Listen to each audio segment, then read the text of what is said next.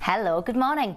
A new project's launched to help tackle antisocial behaviour in Harrogate. Six men have been arrested after reports that a group turned up at a Middlesbrough property, possibly carrying weapons.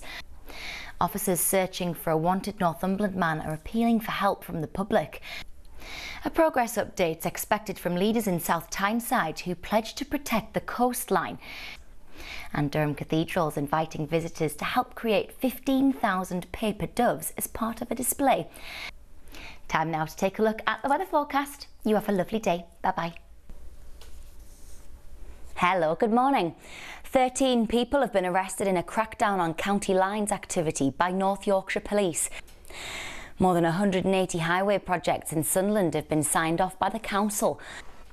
11 original pieces by famous street artist Banksy go on display today ahead of being auctioned in Newcastle.